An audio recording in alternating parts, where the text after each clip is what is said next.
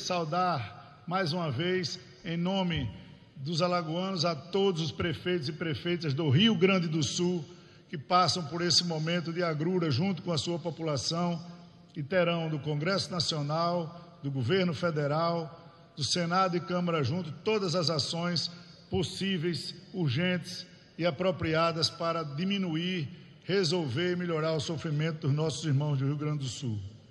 As senhoras e senhores são a grande força de um movimento essencial para transformar definitivamente a realidade brasileira, pois são as prefeituras as maiores depositárias dos anseios da população em relação basicamente ao poder público. E são elas também, claro, as grandes responsáveis pela condução dos programas e obras que fazem a diferença na vida de todos os brasileiros.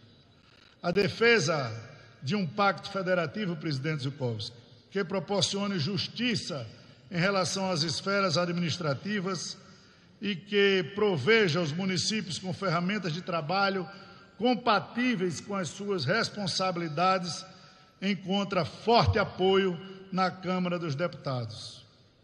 A agenda municipalista proposta pela CNM ou suscitada em debates que ocorrem nas frentes parlamentares e nas comissões permanentes tem avançado em diversos pontos concorrendo para o aperfeiçoamento das nossas leis e para o equacionamento de vácuos jurídicos que discutam a chegada de socorro a quem precisa.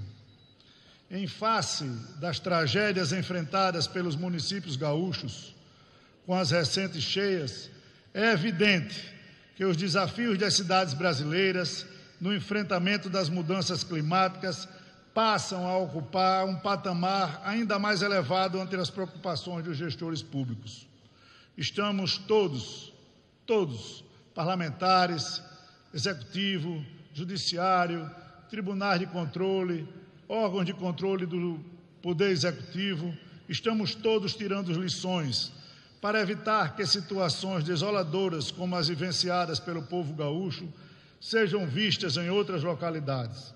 É preciso, claro, agir com urgência, pois os alertas de que novas catástrofes naturais venham a ocorrer têm sido lançados pelos especialistas em clima e meio ambiente há tempos.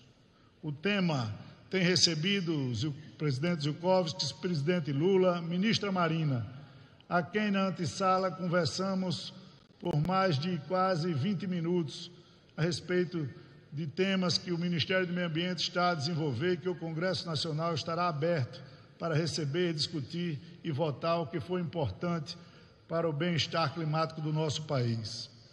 Neste sentido, vale ressaltar as inovações legislativas recentes que têm contribuído para que as prefeituras realizem investimentos em setores essenciais.